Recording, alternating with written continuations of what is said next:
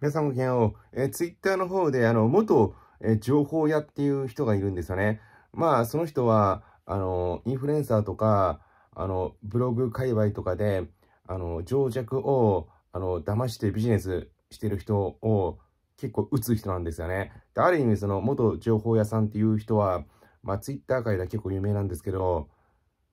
まあ、白黒はっきりさせる。で、あの、表向きはクリーンで綺麗なんだけど、あの、実際はなんかずる賢いこと、まあ、情弱を騙して儲けてるインフルエンサー、ブロガーとかを、あの、暴露、暴くみたいな人で、まあ、ブラックヒーロー的な立ち位置かなって僕は思ってます。で、その元情報屋さんが、あの、このようなツイートをしていたんですごい気になりました。え、青汁王子の、えー、競合他社を買収しまくって、え、業界ナンバーワンを維持したのは有名だから知ってる人は多いかも。だけど、えー、彼が表に、えー、出してないやり方がえぐい、えー、キャバ嬢とか、え数千フォロワーの、え駆け出し女インフルエンサーを使った、え手口とか全アフリエイターが参考にするレベルってことを意味深なツイートをしてました。それに関して、あの、結構あの、本気で考えたんでちょっとお話します。えー、まず、青汁王子と意気投合してる人、周りにいる人をを、まあ、思い浮かべると、まあ、最近ね、なんか付き合いが深いって思われる人、与沢翼、え、光る、まあ、その二人がすぐ出ますね。あと、テンジムもそうですね。で、この三人っていうのは、あの、今のね、あの、ガーシーチャンネルさんに、あの、叩かれてますよね。まあ、与沢翼、今はないかもしれないけど、この、光る天地はすごい叩かれてるし、まあ、いかがしいっていうか、まあ、情弱魂っていうか、なんか自分さえ良ければいい、なんかエゴイスト的な、あの、存在だと思うんですよね。まあ、舐めてるよね。はっきり言って。あの、天チームと光るって。で、なんか多くの犠牲者の上に成り立った成功みたいな感じですね。で、与沢翼に関しても、まあ、あんだけね、ひろゆきが、まあ、咎めてるから、し、まあ、実際、まあ、今でこそ結構、なんか道徳的な発言とかもするけど、やっぱ、昔のね、ギラギラした頃の彼っていうのは異常でしたよね。で、一回なんか書類送検かなんかやらかしてますよね。なんか運転手さんを叩いたとかで暴行かな。それとあとまあ、一回破産してるし、まあ、ホリエモンもまあ、彼には結構厳しいこと言ってますよね。まあ、当時のアフリエイトは彼がやったのは、まあ画期的だったけど、まあでもその与沢翼自身が、まあ彼に目がくらんで、なんか間違った方向に暴走して破産してしまった。で、あの、四つ葉翼の延長線上に、あの、俺はいないって言ってましたね。俺はやっぱ、その、本当にやりたいこととか、その、ロマンとか、やりがいとか、充実感を重視するタイプだ。で、四つ葉翼に関しては、ただ金に目がくらんだ、あの背筋主義でしかないから、あの、第二のホリエモンって、まあ、当時は言われてたわけですよ、四つ葉翼は。でも、そんなのはなんか、至って迷惑だみたいなことをホリエモンは言ってましたね。で、本題に戻るんですけど、で、青汁王子がそのアフリエイトで成功したのっていうのは、あの、本当にさ、あの、清く正しく成功法で、あの、あそこまで行けたとは僕も思ってないんですよね。で、この情報屋さんの、まあ、言ってることが結構、あの、真実に近いんじゃないのかなって僕は見てます。まあ、こればっかりは、まあ、断言はできないけど、で、やっぱ、彼はね、元からイケメンでかっこいいんだよね。で、まあ、ヤンキーっつうか、そっちのね、やんちゃな感じですよね。だから、自分が、あの、のし上がるため、成功するために、あの手段は選ばなかったんじゃないですかね。で、その中でじゃあどうすればいいのかって、女を使ったのかなって思うんですよね。それが、まあ、彼が表に、えー、出してないやり方がえぐい。まあ、カミングアウトしてない。で、実際、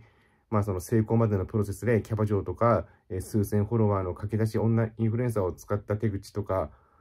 まあそれをやれば、あの、全アフリエイターは、あの、上に行けるよってことなんだよね。手段を選ばずに。でも、まあ、彼はそれを思いついてやったから、まあ、アフリエイターとして成功したってことなんだよね。だから、今の彼はさ、生意んで結構綺麗なことを言ってるけど、まあ、綺麗なだけで成功してないってのは確かだよね。まあ、このね、女インフルエンサーとか、キャバ嬢を使ったっていうのが、まあ、こういう言い方するとなんか、すごい感じ悪いけど、まあおそらく合法だと思うんですね。まあギリギリのところで、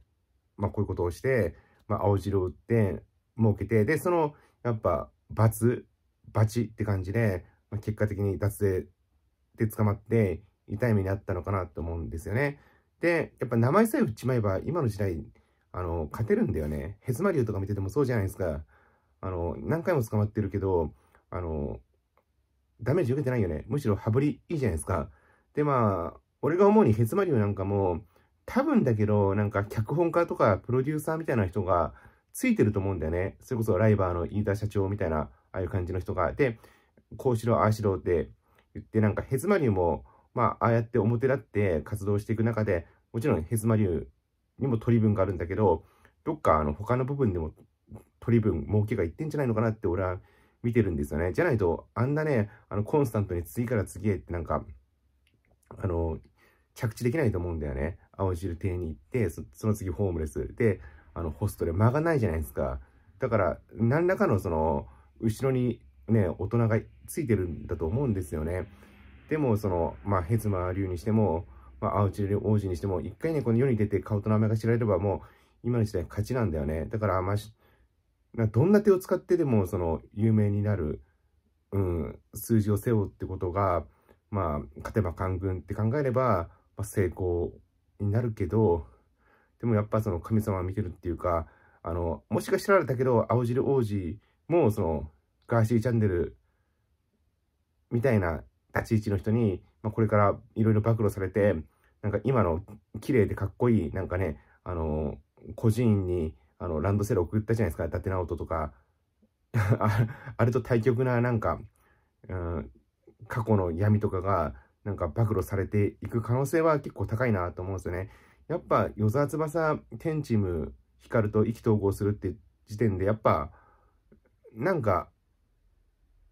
悪な要素がないと意気投合できないと思うんですよね。まあ、悪は言い過ぎかもしれないけど、そういうなんか、横島な、打算的な、うん、完璧にクリーンな人間で健全なやり方で成功法でやってきたら、そこら辺とは意気投合しないと思うから、まあ、僕はそういう目で青汁王子を見てます。たら、まあ、彼の活動とか発信とか、あの面白くて、まあ、魅力的な男だと思うんだけど、でもこの、まあ、情報屋さんのこの発信的なことが、これからなんかどんどんどんどん明るみになっていくような気もします。まあ、これはあくまでも僕の考察ですね。まあ、青白王子に関しては別に好きも嫌いもない。まあ、どっちかって言ったら好きですね。まあ、見てる分には面白いですね。まあ、青汁王子が、あの、自分ではね、カミングアウトしてないんだけど、まあ、こういう、なんか、世間一般では卑怯、汚いと思われるような手口、まあ、合法だけどね、それを、あの、やったってことを隠して、あの、こうすればお金持ちになれるよって、まあ、情報発信してる、ね、あの生配信でいろいろ言ってるっていうのは、ちょっといかがなものかなって、まあ、とも思いました。ではどうもありがとうございました。